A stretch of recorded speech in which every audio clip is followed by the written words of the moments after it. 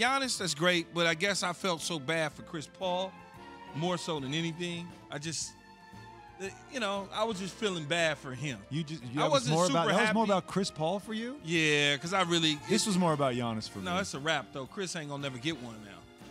That's why I feel that way. I just feel That like was his- that, was, his it. best that was your chance. best shot. He knew it to get it. Yeah, and they just really Giannis is that guy. Giannis stepped up. That yeah, like he he. It's just amazing to think like we, the more we watched and found reasons to criticize his game, the more I feel like I lost sight of the bigger picture, which is what a what a story he is, what a great just athlete like personality wise, like everything he represents.